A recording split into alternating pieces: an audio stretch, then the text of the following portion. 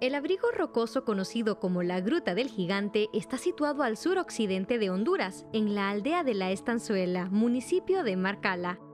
Este antiguo sitio se remonta a los 11.000 años antes de Cristo, siendo hasta el momento la fecha más temprana registrada para un asentamiento humano en la Honduras prehispánica. Aunque existen otros abrigos rocosos en el centro de Honduras, estos se encuentran expuestos a los elementos naturales, a diferencia de El Gigante, cuya impresionante cámara de 42 metros de ancho, 17 metros de profundidad y 12 metros de altura protege el interior del abrigo de la lluvia y el viento, acumulando sedimentos durante miles de años de uso.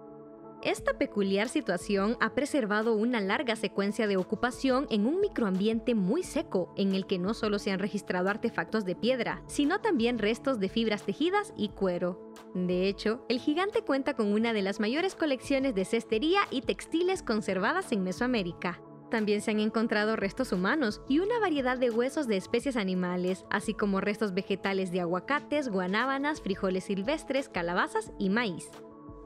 Ningún otro lugar muestra tan claramente como el gigante el carácter dinámico de las sociedades de cazadores-recolectores y su forma de vida adaptativa en las tierras altas de Centroamérica.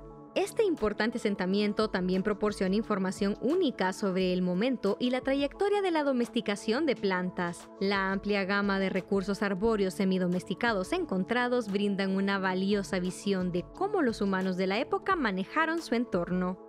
Las investigaciones hechas en la Gruta del Gigante no solo están contribuyendo a nuestra comprensión del patrón de los movimientos cíclicos de los cazadores-recolectores y la migración de estos grupos a corto y largo plazo, nos está ayudando a entender mejor cómo fue esa particular transición de la búsqueda de alimentos a la agricultura y las respuestas culturales que se dieron a los cambios climáticos y medioambientales.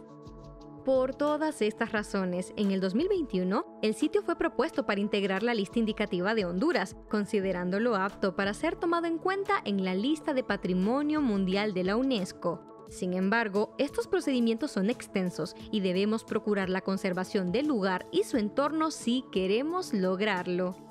Apoyemos a la comunidad de la estanzuela con el mantenimiento de la cueva del gigante pagando la entrada, cuidando el mobiliario, depositando la basura en los lugares indicados y sobre todo, no intente subir al abrigo. Me está dañando las evidencias arqueológicas del sitio, no se trepe ahí solo para verse cool. El patrimonio cultural, Honduras, la humanidad y colectivo RE se lo agradeceremos.